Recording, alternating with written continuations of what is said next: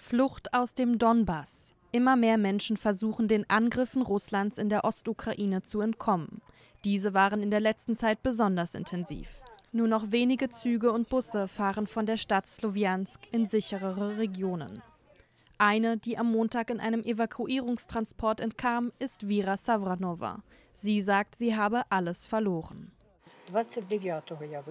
Am 29. April verließ ich mein Haus und etwa zwei bis drei Tage später riefen mich meine Nachbarn an und sagten, Vira, das war's, dein Haus ist weg, es ist komplett abgebrannt.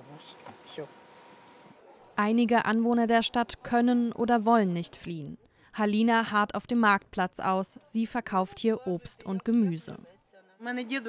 Mein Mann hat nur ein Bein. Ich gehe an Krücken. Wir haben schwere Behinderungen. Außerdem habe ich drei Kinder. Ich helfe ihnen mit dem Verkauf aus. Andere Standbesitzer sagen, dass ihnen ihr Job zumindest ein bisschen hilft, sich von der Situation abzulenken.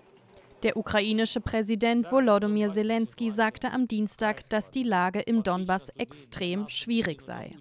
Russland attackiere die Städte Slowiansk und Sjeverodonetsk. Ukrainische Streitkräfte werten den Vormarsch jedoch bislang ab. Moskau kontrolliert mittlerweile rund 90 Prozent von Luhansk, der östlichsten Region der Ukraine.